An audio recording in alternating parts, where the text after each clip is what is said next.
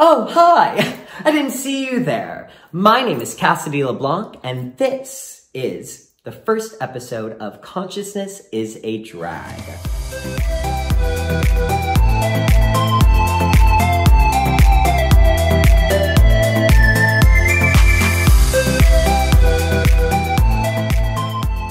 I hope you guys enjoy this. This is a project that I have actually been wanting to do for a really, really long time. I have been seeing so many people out there talking about consciousness, about spirituality, things that I'm really, really interested in. And I thought to myself, you know what? If they can do it out of drag, why can't I do it in drag? So here I am, and we are going to be talking about a special topic that I think everybody could really, really benefit from, and it is being in the eye of the hurricane.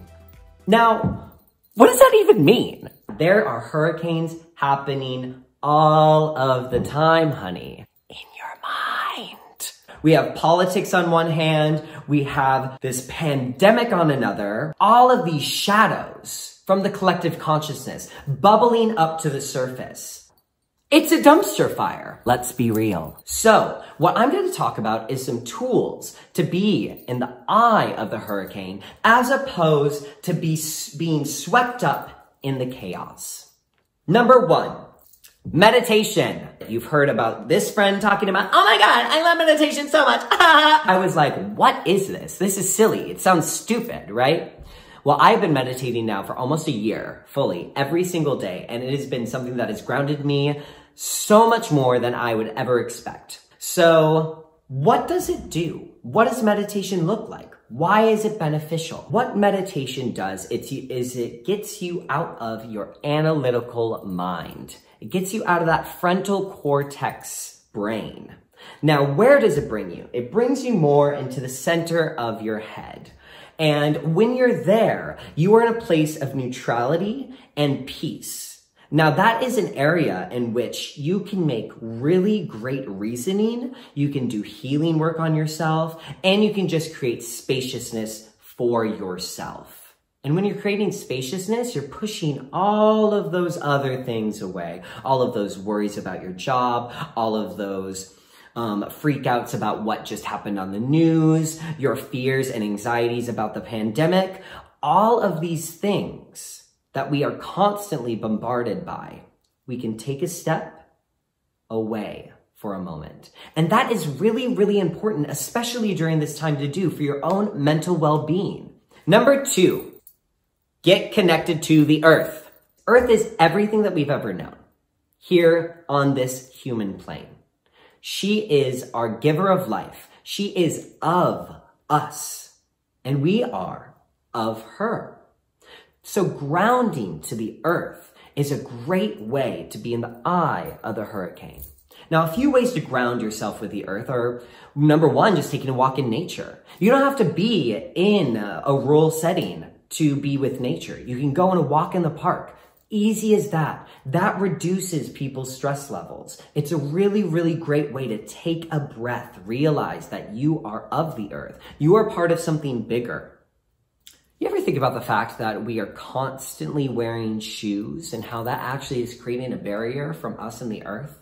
Now, if we were to connect more to the earth, we could feel more at peace. We could be healed from the earth. There's actual scientific evidence that proves that connecting and grounding yourself to the earth can reduce inflammation in your body reduce inflammation in the body.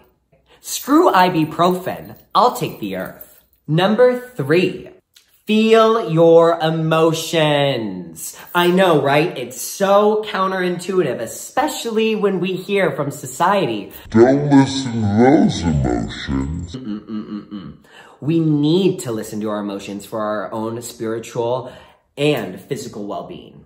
Now, what are emotions? Easy as this. Energy in motion.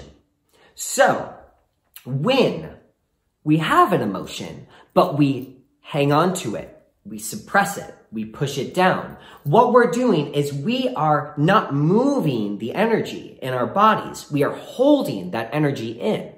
But emotions are energy in motion. So they need to be moved. They need to be processed. They need to be felt. If we avoid our emotions time and time again, they start to build up. And that is how we feel chaotic in our bodies and in our mind, in our spirit. We have to listen to our emotions. Now, what does the process of listening to your emotions look like? Well, I feel like it's different for everybody. But for me, a lot of the time, it's checking in with my body. How does my body feel at this moment? Is there any sort of energy that I can notice in my body? I know sometimes when I'm feeling sad, I get a sinking heart feeling. Or when I'm upset about something, maybe a tightness in my throat. Start to gain consciousness and become aware of your emotions and look at them in a non-judgmental, compassionate, loving container. And if you can do that, that's a beautiful way to hold space for your emotions and then allow yourself to feel them. And when you feel them, and that might look like you crying, even being angry, allow yourself to experience that non-judgmentally. And when we experience our emotions, it's just that. It becomes the energy in motion. Four,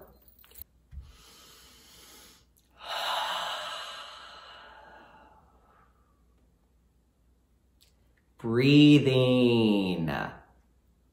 Now, there's one method that you can do that is really, really helpful to start to become more at peace in your body.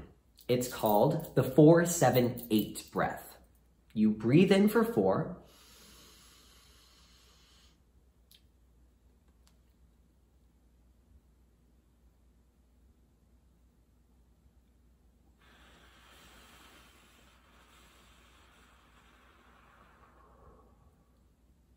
and repeat. Doing that is going to help relax your body. And when your body is relaxed, your mind can start to relax. By doing this process, what you're doing is you're becoming more mindful and more present. And when you're more present, you're gonna nail it. You're just gonna nail it, okay? Number five, journaling right? So get things on paper. And I'm not just talking about typing, I'm not talking about talking about it, I'm talking about actually physically journaling your thoughts and your feelings. There's so many times which our thoughts are in our head. And another way to get them out of the body is to physically write them down. Now, I think a lot of times in the spiritual community, what happens is we talk about positivity and everything should be great and everything should be wonderful. But guess what? To be human is to have negative experiences. To be human is to have hard experiences as well. And when we avoid talking about those things, when we avoid writing about those things, when we avoid them entirely, honey, I'm going to let you in on a secret. They're still there. Journal them down. Just start writing all of those experiences down because when you actually physically write those things down, it creates an outlet for all of those thoughts to be on paper.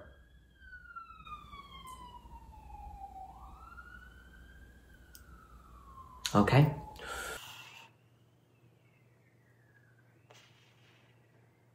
Okay, the ambulance is gone now. See? I'm now in the eye of the hurricane. So those are some tips and tricks on what to do when you feel like you're thrusted in the hurricane. Find your way into the eye. And whatever works for you is valid, so keep that in mind. For me, performing is actually a really, really great way of releasing, and it helps me get back into the eye of the hurricane. But everybody's different, so figure out the things that work for you, because if they work for you, you'll feel it in your body. And everybody's different, so look for that authentic truth in you and go for it. Thank you so much for watching Consciousness is a Drag. I hope to do many more of these. Please like this video, please share it, subscribe to my channel, and until next time, stay fabulous, sane, and in the eye of the hurricane.